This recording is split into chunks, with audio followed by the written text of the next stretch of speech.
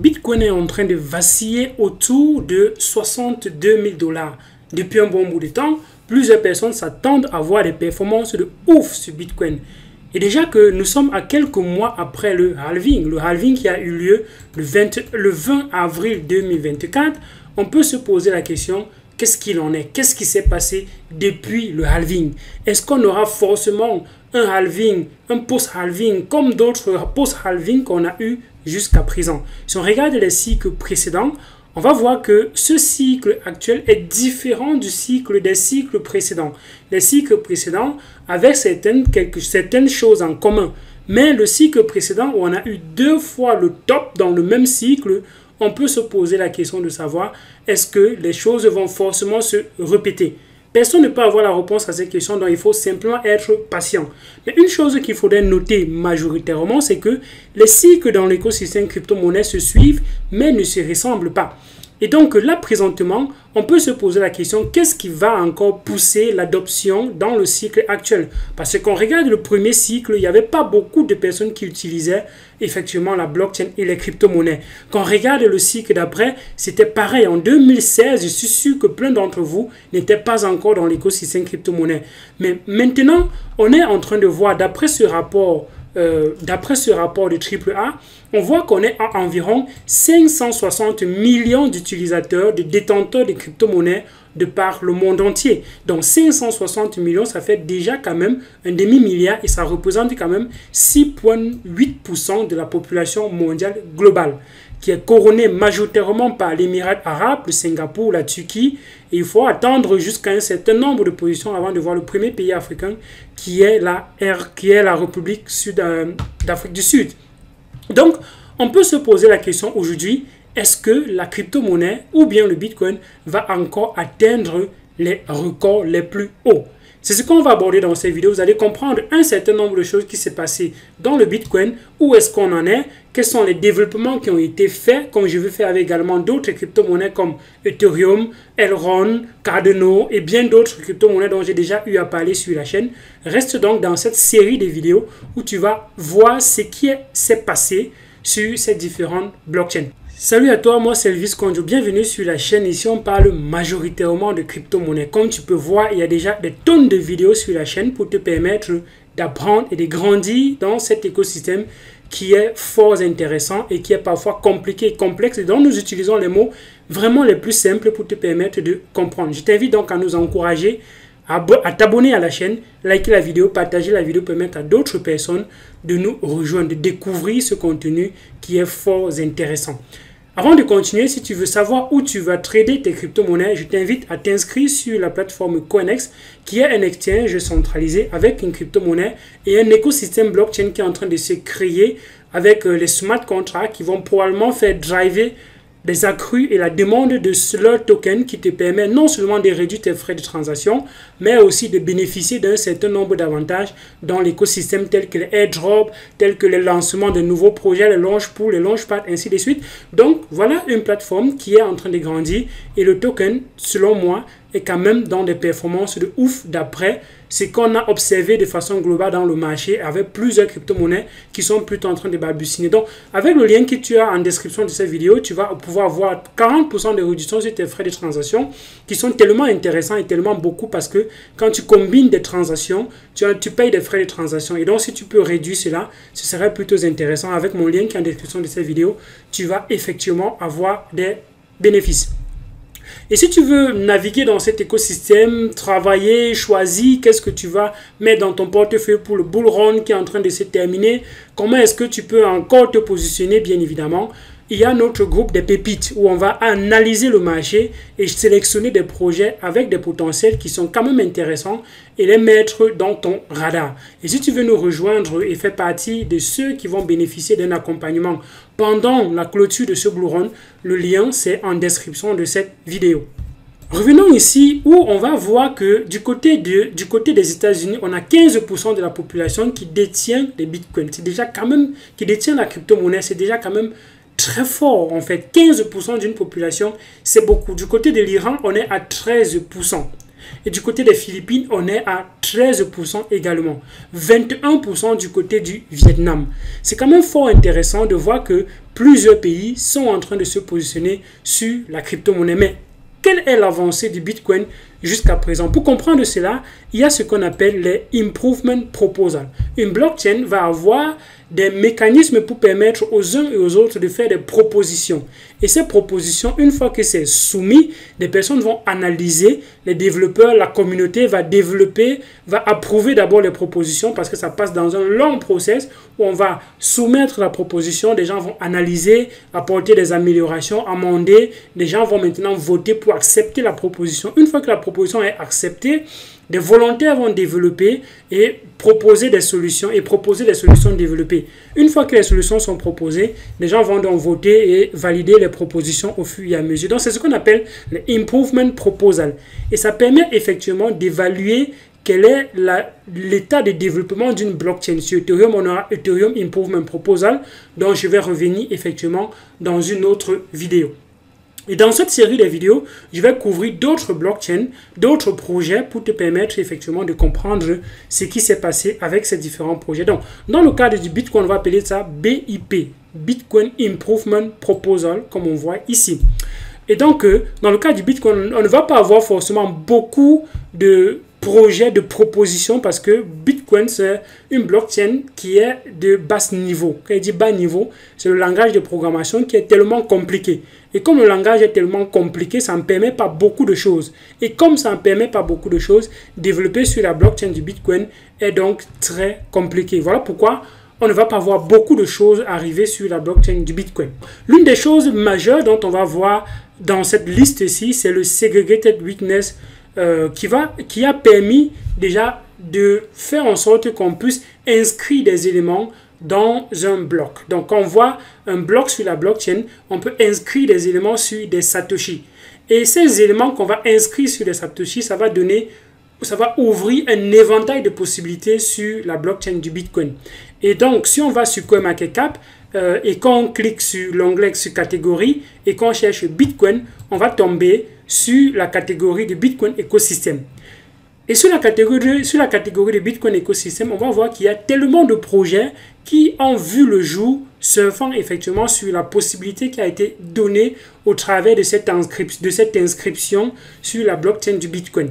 Et donc, l'un des projets qui est phare sur la blockchain, c'est SAT. Qu'est-ce que, qu'est-ce que Stack permet de faire? Stack permet de, créer un layer 2 sur la blockchain du Bitcoin. Et ce layer 2 sur la blockchain du Bitcoin va fonctionner comme les layer 2 qu'on a sur la blockchain d'Ethereum, où il y aura la possibilité, bien que ce n'est pas encore tellement développé, tellement avancé, d'avoir des smart contracts.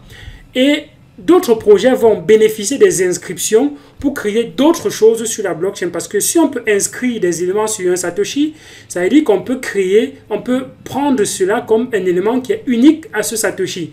Et donc, les gens vont créer les ordinals, donc créer euh, comme ça les NFT et bien d'autres choses avec la blockchain du Bitcoin. Et c'est comme ça que l'économie là-dessus va devoir se développer. On va voir les projets comme Audi, les projets 107. Euh, des projets comme Doc Rune, dans les runes dont vous connaissez très bien, des projets comme Bit et bien d'autres projets dont je ne vais pas forcément mentionner ici. Tout simplement pour vous montrer que ce développement qu'il y a eu sur la blockchain du Bitcoin a permis d'ouvrir d'autres possibilités. Et aujourd'hui on a tellement de projets qui surfent sur cette vague pour proposer même les decks sur la blockchain du Bitcoin comme le projet Pumpkin. Effectivement ça va dans, le, dans ce sens de proposer des DEX sur la blockchain du Bitcoin et bien d'autres choses, d'autres projets vont dans le sens de proposer une machine virtuelle qui va tourner au-dessus de la blockchain du Bitcoin et permettre les smart contracts. Comme ça, vous arrivez sur la blockchain du Bitcoin. Donc, il y a tellement de projets qui vont dans ce sens. Et cet écosystème a grandi, grandi majoritairement au cours de cette année-ci, au cours de cette année 2023-2024, on a eu un certain essor des projets dans ce sens. Et c'est donc un narratif qui est tellement fort dont on va revenir là-dessus dans une autre vidéo. On va parler des narratifs. Comment choisir les narratifs, comment surfer sur les narratifs, comment choisir les crypto-monnaies pour mettre dans son portefeuille? On va aborder cela dans d'autres vidéos. Donc reste ce côté sur la chaîne. Il y a beaucoup de choses qui sont en train d'arriver. Donc, en dehors de ça, il y a bien d'autres choses qui se sont passées sur la blockchain du Bitcoin. Regardons un peu les volumes de trading qu'il y a eu dans l'écosystème crypto-monnaie de façon générale. Après que les ETF ont été adoptés, ça c'était en janvier 2023, on a eu le ETF de, Bit de Ethereum qui est arrivé autour de, juin 2000, euh, autour de juin 2020, 2024. Il y a eu donc beaucoup de choses qui se sont passées euh, après ça. Donc, si on regarde les volumes de transactions ici, les volumes de transactions ne font que augmenter. Il y a beaucoup de pays qui sont en train de trader. Quand vous pensez que le Nigeria, euh, que la Chine, par exemple, n'est pas dans l'écosystème crypto-monnaie et qu'ils ont banni les crypto-monnaies, erreur. Quand on regarde les volumes, de, les volumes de transactions ici, les volumes de trading ici, on voit qu'on trade beaucoup les crypto-monnaies du côté de la Chine. Et quand on dit ici du côté de la Chine, c'est pas forcément pour dire Hong Kong, parce que je vois plusieurs personnes ici venir me dire Hong Kong, Hong Kong, Hong Kong. Non, c'est pas forcément le cas parce qu'on va mettre Hong Kong à part. Et même jusque-là, du côté de la Chine, Hong Kong n'est vraiment pas encore beaucoup sollicité, beaucoup tradé. Euh, on ne traite pas encore beaucoup les crypto-monnaies de ce côté-là avec les ETF qui ont été approuvés malheureusement. Donc, qu'est-ce qui qu'est-ce qui s'est passé? Regardons par exemple ceci. Jusque-là, des pays comme le Japon restent toujours en tête de l'adoption des crypto-monnaies parce que c'était les premiers, c'était les pionniers dans l'adoption des crypto-monnaies. Donc le Japon, la Corée du Sud restent toujours parmi les tops. Et alors, du côté de l'Afrique, on a eu une recrudescence quand même du côté du Nigeria et du, et du Kenya où environ 45% de la population s'est engagée déjà avec les crypto-monnaies. Donc quand on veut plutôt bannir quelque chose, ça devient plutôt un moyen plutôt intéressant. Et quand on voit du côté du Nigeria, ils ont essayé de bannir les crypto-monnaies, ils ont fait un rétro-pédalage. Euh, la SEC du côté, des États, du, côté du, Nigeria est allée jusqu'à sanctionner Binance. Euh, malheureusement, ça a plutôt continué, ça a plutôt contribué à renforcer un peu cet écosystème du côté du Nigeria. Donc c'est plutôt des choses qui sont intéressantes. Si on regarde un peu du côté, des, du, côté de la Chine et même du côté des États-Unis, le taux, le taux du chômage est en train de baisser. Et le taux de chômage, comme c'est en train de baisser, ça veut dire que la population quand même est à l'abri d'un certain nombre de besoins. Et si la population est à l'abri d'un certain nombre de besoins, les gens vont donc probablement chercher à investir. Et ça peut donc faire en sorte que on va revoir encore des personnes qui vont entrer dans les crypto-monnaies, s'exposer dans les crypto-monnaies parce que ça devient quand même beaucoup plus facile avec les ETF qui sont déjà implantés du côté des États-Unis. Récemment, il y a Bitwise qui a demandé les ETF pour euh, pour Ripple, malgré que la SEC est en train de poursuivre Ripple encore en justice. Et donc, ils ont retoqué. Donc, la SEC, c'est, on va pas forcément revenir là-dessus. Il y a tellement de news.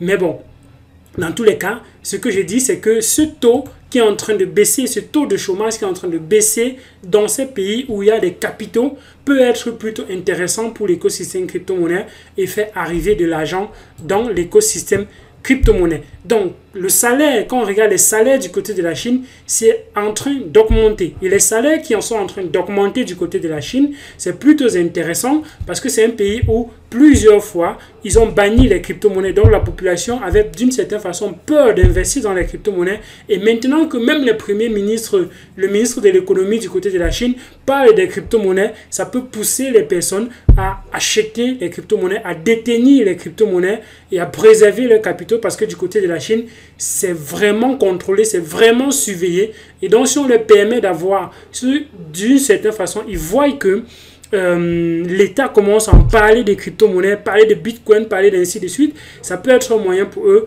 de se prémunir de ce contrôle qu'on a du côté des États-Unis.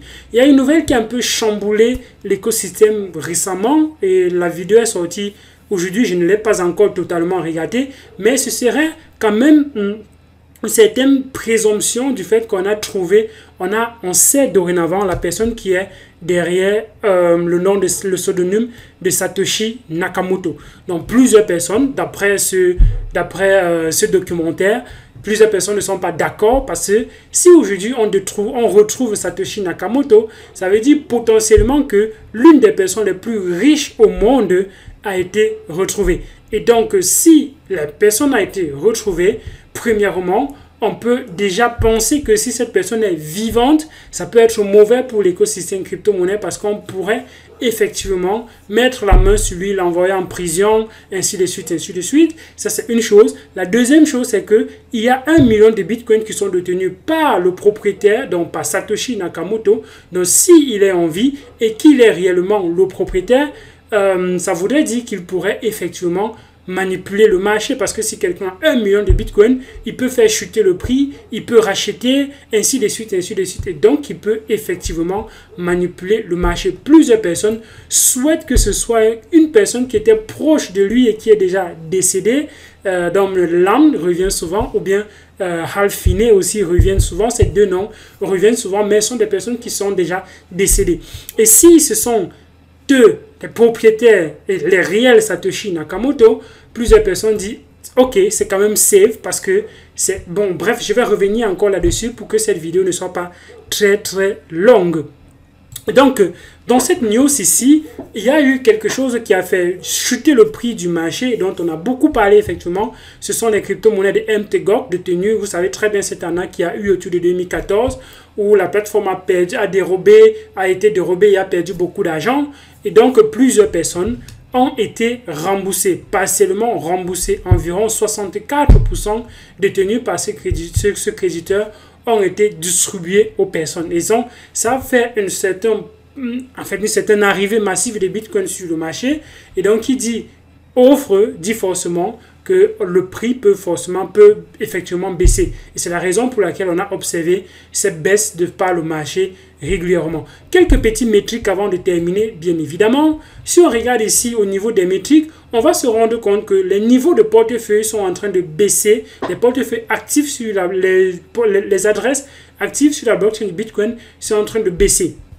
Donc cette métrique ne devrait pas être forcément analyser comme quoi plusieurs personnes ne sont plus en train de trader le Bitcoin ou bien non, c'est pas forcément le cas. C'est que le Bitcoin aujourd'hui a déjà quitté la blockchain euh, premièrement pour aller dans d'autres blockchains. On va voir le W Bitcoin, on va voir le, le, Bitcoin sur la blockchain de Binance, on va, on va avoir le Bitcoin sur plusieurs autres blockchains. Et si ces Bitcoins sont tradés sur d'autres Bitcoins, ça, ça, ne, ça ne se reflète pas effectivement sur la blockchain du Bitcoin. Ça, c'est donc. De deux, on a plusieurs adresses aussi qui sont mortes. Plusieurs personnes ont perdu les clés privées. Plusieurs personnes avec les arnaques qu'il y a eu par-ci par-là.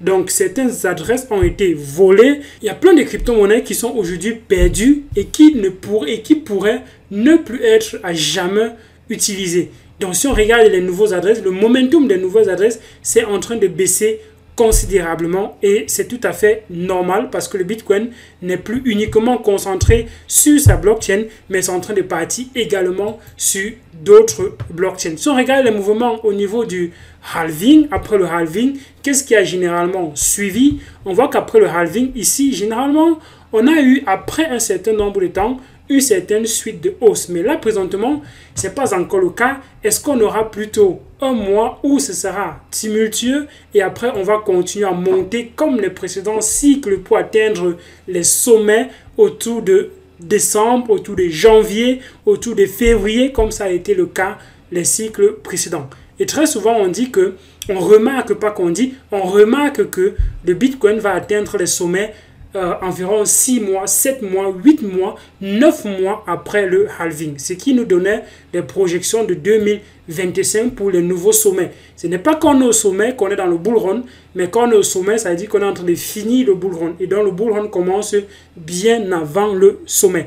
Si tu ne sais pas ce que tu vas mettre dans ton portefeuille pour te préparer pour les sommets, rejoins-nous dans le groupe privé. Le lien est en description de cette vidéo. Donc, comme on peut effectivement le constater, le Bitcoin est encore euh, dans une certaine posture où il y a peut-être pas trop de mouvement sur le marché actuellement, mais il y a beaucoup de développement dans son écosystème et plein de choses sont en train d'arriver pour faire en sorte que les développeurs puissent bénéficier d'autres choses que que le minage en réalité, mais plutôt des frais de transaction. Et ceux qui se posent la question de savoir si on arrive à la fin du minage autour des 2000, des, 21 millions de bitcoins qui seront minés, comment est-ce que les mineurs seront payés? C'est effectivement avec les frais de transaction. Et pour que ces frais de, de transaction soient intéressants, il faudrait que le bitcoin ait un écosystème.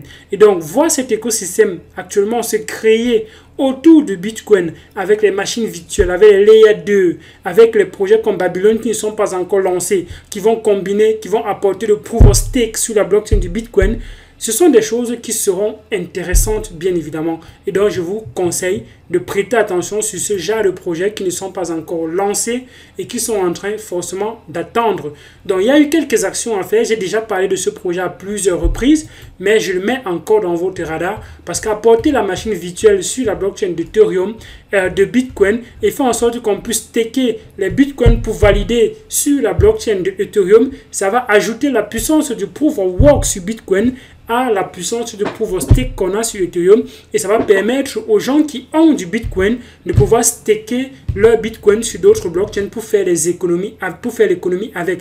Et c'est ce que les institutions cherchent, c'est ce que les gouvernements cherchent, de pouvoir avoir des revenus passifs. 5% peut-être c'est rien pour toi, mais 5% c'est beaucoup pour les institutions, c'est beaucoup pour les gouvernements et donc ils sont à l'affût de ce genre d'opportunités.